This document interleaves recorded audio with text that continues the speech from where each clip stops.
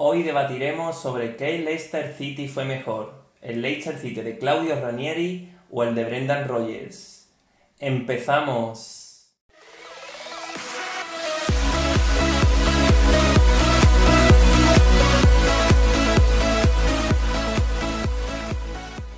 Muy buenas a todos, ¿qué tal estáis? Bienvenidos un día más a mi canal y en el vídeo de hoy compararemos a las dos plantillas más importantes de la historia del Leicester City. Por un lado tenemos la plantilla campeona de la Premier League de, con Claudio Ranieri de la temporada 2015-2016 y por otro lado tenemos la plantilla de esta temporada que ha cuajado una campaña espectacular a la espera de que se reanude la competición con Brendan Rodgers. Así que sin más dilación, comenzamos. El hito conseguido por el Leicester City de Claudio Ranieri durante la temporada 2015-2016 ha sido uno de los hechos históricos con los que yo más he disfrutado durante toda mi vida viendo fútbol.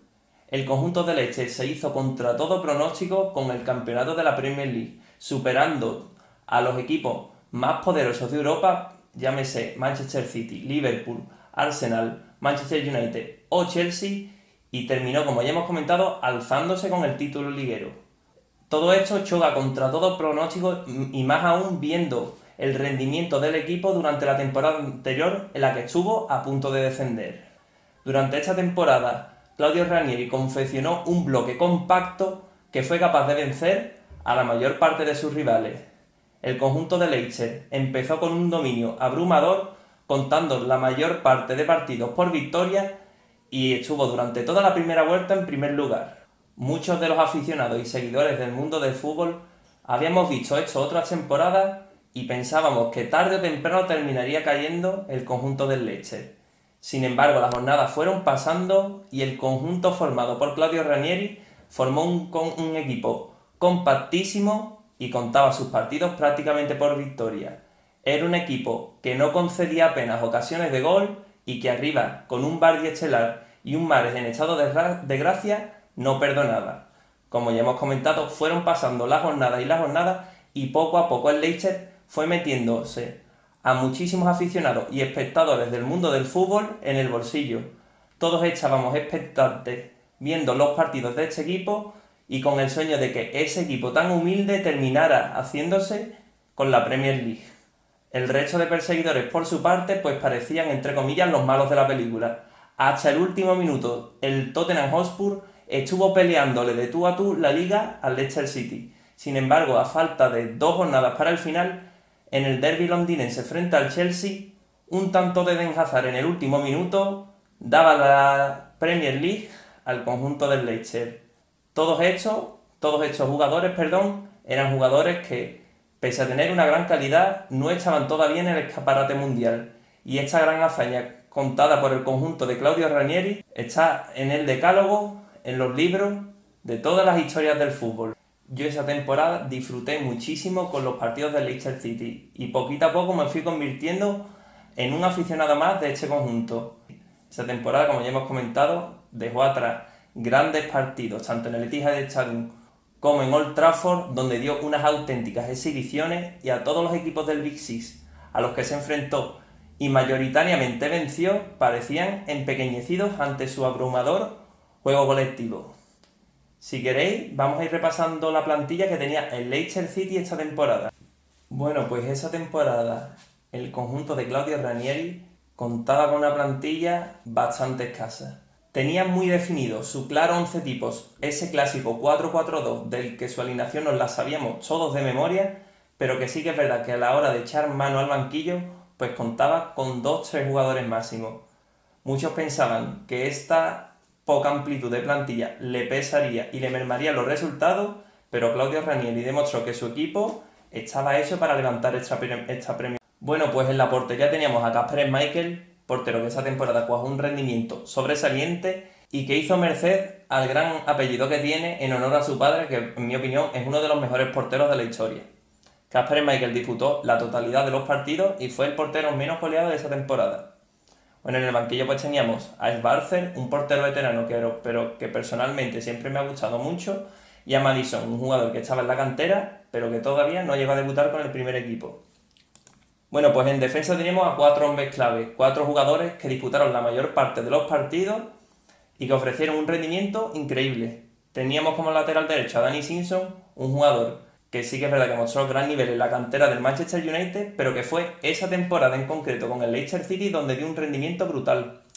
En defensa teníamos a Robert Hood, un auténtico trotamundo de la Premier League, que ha jugado en multitud de encuentros, alcanzando en mi opinión su máximo nivel en el Chelsea y que esa temporada vivió una segunda juventud en el conjunto del Leicester. A su lado pues teníamos a Wes Morgan, otro central veterano, pero que esa temporada fue la temporada de su confirmación y mostró un rendimiento sobresaliente y formó además un gran tande con Robert Huth. Bueno, como lateral izquierdo pues teníamos a Christian Fuchs, un jugador que parecía destinado al olvido cuando dejó el Schalke 04, donde dio sus mejores años de fútbol, pero que esa temporada se adueñó del lateral izquierdo durante toda la campaña y cuajó una, una campaña perdón, excepcional. En el banquillo pues teníamos por un lado a Vasilevsky, un jugador que esa temporada se tuvo que conformar entre comillas con los minutos residuales que le dejaron Wes Morgan y Robert Wood. Amor, un jugador que tuvo esa temporada ficha del filial y que participó en algún encuentro que otro. Y por último tenemos a un jovencísimo Ben Chigwell, un jugador que en esa época, con tan solo 18 añitos, no, no disputó apenas encuentro, perdón, pero que poco a poco, pues bueno, se ha convertido en lo que es hoy día el mejor lateral izquierdo de la Premier League. Bueno, pues en el centro del campo al igual tenemos a cuatro hombres clave también. Teníamos ese doble pivote que tantas alegrías le dio al conjunto del Leicester. Por un lado, en Kanté, uno de los mejores pivotes defensivos del mundo y que esa temporada fue uno de los hombres clave de este Leicester. A su lado pues teníamos a Danny Drinkwater, otro jugador que esa temporada ofreció un rendimiento muy por encima de, sus posibilidades y le permitió además la llamada con Inglaterra. Como interior teníamos por la banda por un lado a Marcus Albrighton, un jugador que, al igual que Robert Hood, ha sido un auténtico trotamundo dentro de la Premier League y que sí que es verdad que creo yo que en mi opinión en el Leicester City ha, ha sido donde ha dado su mayor rendimiento. Esa temporada fue el amo y señor de esa banda izquierda y por ahí pasaban gran parte de los ataques del conjunto del Leicester. Como interior izquierdo pues teníamos a Riyad Mahrez, un jugador que esa temporada fue la de su consagración. Sus grandes actuaciones lo puso en la élite futbolística y se ha convertido en lo que es hoy día un extremo derecho increíble con un gran regate y gran golpeo de balón y que es una de las piezas más destacadas del Manchester City de Pep Guardiola. Bueno, pues el resto de centrocampistas que tuvimos durante esa temporada fueron Andy King, un jugador de la cantera que también ofreció un rendimiento bastante bueno, Gogan Hitler, que sí que es verdad que llegó como estrella, pero que esa temporada se esperaba mucho más de él. Por otro lado teníamos los Amartey y Sloop, dos jugadores que eran auténticos comodines y podían jugar en varias posiciones y que es verdad que cuando estuvieron en disposición de jugar, pues cubrieron las bajas y bastante bien. Por último teníamos a los canteranos James y Volkier, que sí que es verdad que no disputaron muchos encuentros, pero que también hay que hacer mención en este hito histórico. Y ya por último el frente de ataque. Por un lado, los dos delanteros centros que más alegrías le dieron al Leicester. Los hombres gol de equipo. Tenemos por un lado a Okazaki, un jugador que pese a llegar desde segunda línea y que fue fichado esa temporada del Mainz 05, pues ofreció una campaña espectacular anotando 5 goles. Y por otro lado teníamos al delantero centro de este equipo, el hombre clave, uno de los mejores jugadores para muchos de este equipo y que esa temporada fue al igual que la de Mares y la de Engolo Kanté, la de su consagración futbolística. Se trata de Jamie Vardy, un jugador, un auténtico luchador que ha escalado al fútbol desde el fútbol modesto pasando muchísimas temporadas, tanto en tercera como en segunda, y que bueno, esa temporada dijo, aquí estoy yo, y se hizo un nombre en la Premier League, anotando 24 goles, llevando al Leicester City al campeonato.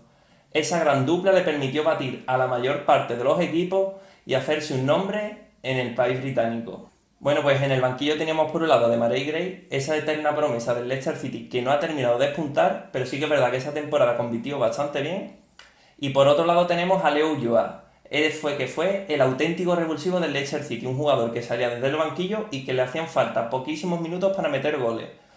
Muchos ya cantaban desde la grada Ulloa, Ulloa, Ulloa para que Claudio Ranieri lo sacara y cada vez que el partido iba mal, Ranieri movía ficha, sacaba a Leo Ulloa y él solo se, se encargaba perdón, de remontar los partidos.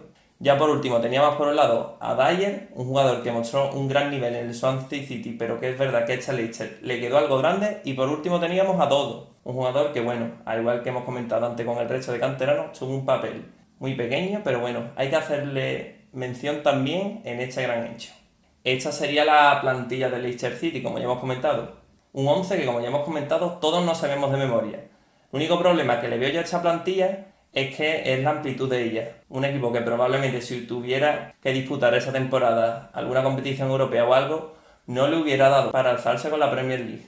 Sin embargo, la valía que tiene este equipo es, como, es algo parecido a lo que ya comentamos en el vídeo del Getafe, que ha confeccionado un equipo compacto con dos o tres estrellas mundiales, pero que la mayoría de sus jugadores son jugadores de un rendimiento bueno, pero muy alejados de esta gran calidad, pero que sin embargo era un bloque compacto que no concedía goles y que arriba eran letales. Esta ha sido la plantilla de Claudio Ranieri. Dejadme en los comentarios lo que pensáis. Y bueno, vamos a darle paso ahora a la plantilla de esta temporada de Brendan Rodgers. Esta temporada Brendan Rodgers ha devuelto al Leicester City a la élite. El conjunto de Leicester ha estado durante gran parte de la temporada, tanto en segundo puesto, codeándose con el Liverpool, como en tercera posición en la que está actualmente, y ha disputado los encuentros avasallando a sus rivales, practicando un juego espectacular fruto de sus grandes jugadores que esta temporada sí tenía y de esa gran amplitud de plantillas que esta temporada también tenía y codeándose de tú a tú con los mejores equipos de la Premier League, vaya, un conjunto que estaba muy bien plantado, tenía las ideas muy claras, con, acompañado con una gran defensa, con la irrupción de muchísimos jugadores y con un gran juego de centro del campo y lanzando contragolpes letales. Conjunto de Leicester, antes del parón del coronavirus, había terminado tercero la Premier League y tenía prácticamente pie y medio en la Champions League para la temporada que viene. Como ya hemos comentado, ha sido un equipo capaz de batir al Manchester United, al Manchester City, al Tottenham Hotspur y cuajando rivales eh, y partidos contra sus rivales, perdón, con un dominio abrumador. Si queréis vamos a repasar ahora esta plantilla que tanto nos ha recordado a la del Leicester City de aquella grandiosa temporada y bueno, ya vosotros opináis y me decís cuál os gusta más. Bueno, pues esta temporada el portero sigue siendo Casper Michael, un portero que, pese al paso de los años, creo que ahora mismo es algo mejor que aquella temporada en la que consiguió el título liguero. Se van notando los años y ya es un portero veterano, pero bueno, sigue siendo el titular indiscutible de este equipo y de la selección danesa. Así que, en mi opinión, uno de los mejores porteros de la Premier League.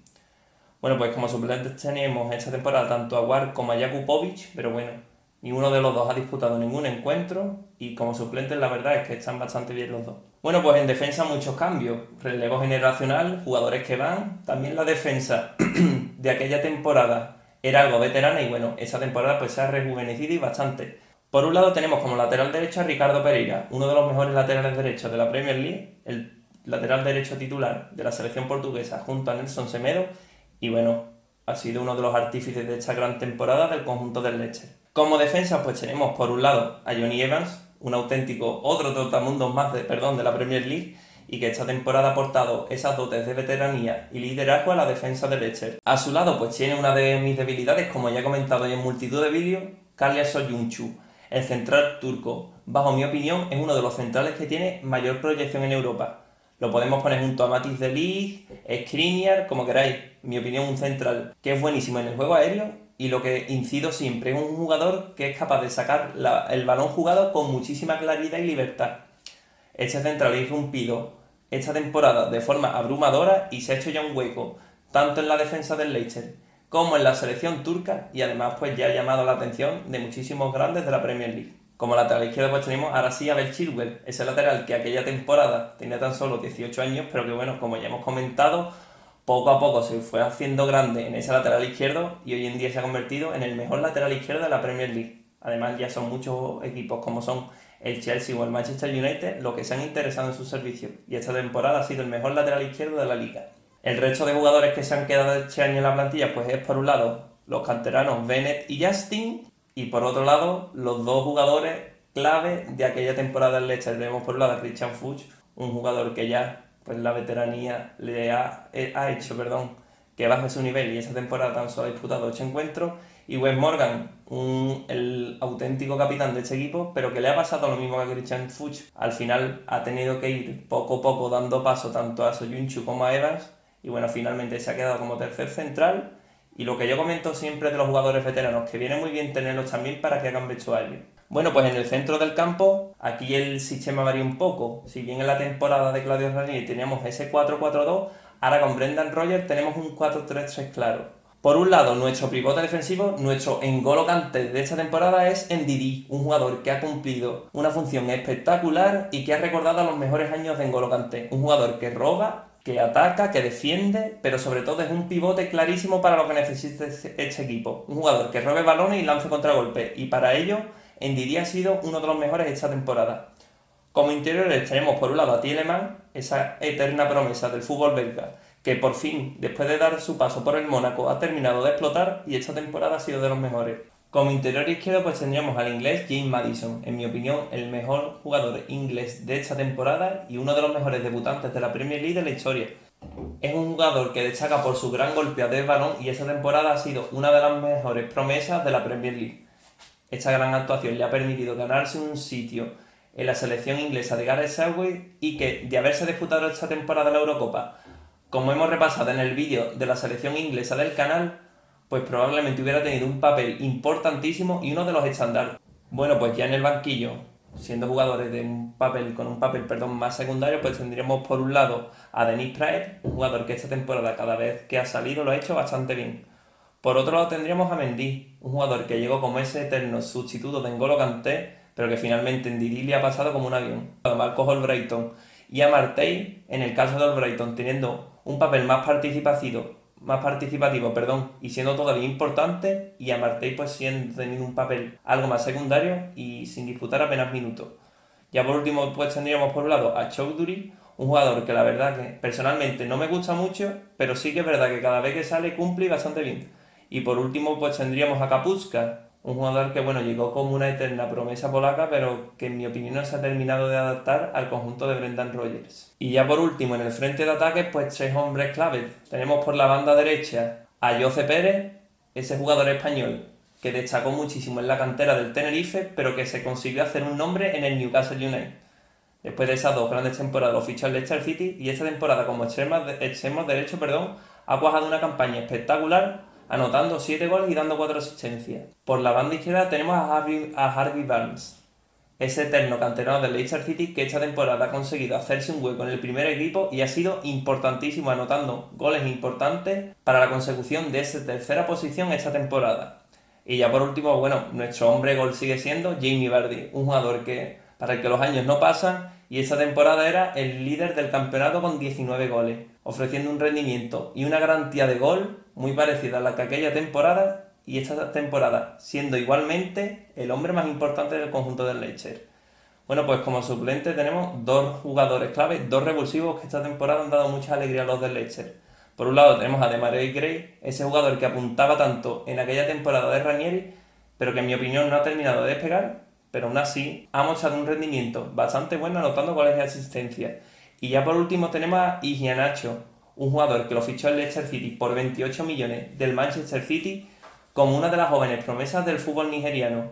Esta temporada ha tenido un papel parecido al que tuvo Leo Ulloa esa temporada, siendo un jugador que le hacían falta poquísimos minutos para hacer gol y esta temporada ha sido el, el auténtico revulsivo del conjunto del Leicester, anotando un total de 3 goles y 3 asistencias. Otro auténtico equipazo. Así que bueno, esta ha sido la plantilla de Brendan Rogers. Quiero que me dejéis en comentarios cuál de las dos os gusta más. Y bueno, personalmente, la plantilla de Claudio Ranieri, pese a ser más corta, creo que como bloque tenía muchas más fortalezas que esta. Esta es verdad que tiene jugadores individuales muchísimo más buenos.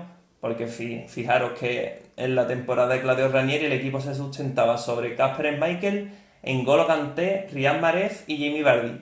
Y esta temporada pues ellos van acompañados de un Cagliari Soyuncu que ha irrumpido bastante bien, de un NDD, de un James Madison, o sea, son jugadores, es como que el resto de posiciones pues están mucho más elevadas y el total de la plantilla está mucho más equitativa a la que tenía esa temporada. Sin embargo, como ya hemos comentado, creo que ese equipo, el de la temporada 2015-2016, tenía muchísimas más armas que este. Este realmente practica buen juego y tal, pero pienso que está muchísimo más limitado que ese. Y bueno, hasta aquí el vídeo de hoy. Espero que este vídeo os haya gustado muchísimo y ya sabéis, dejadme en los comentarios con cuál de las dos plantillas quedaréis vosotros y cómo vivisteis aquella temporada en la que el Leicester City consiguió el título liguero. Y bueno, no hay más. Ya sabéis, suscribíos a mi canal si no lo estáis, dejad un muy buen like y nos vemos en próximos vídeos.